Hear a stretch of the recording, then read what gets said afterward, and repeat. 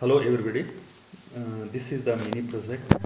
I have done it. Uh, the name is uh, Postbox Indicator.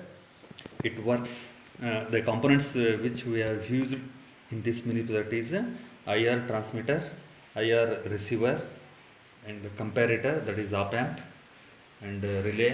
This is the driver circuit, and the two batteries we have used. Then how it works we'll see now. First you connect the batteries.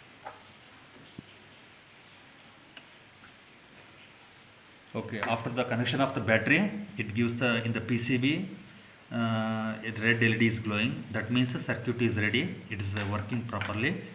Then again you connect uh, one more battery to drive the output. Okay, now the circuit is uh, powered by two batteries.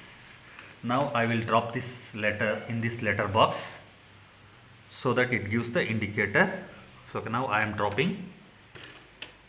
Yes, here it is. It gives the, it is giving the indication.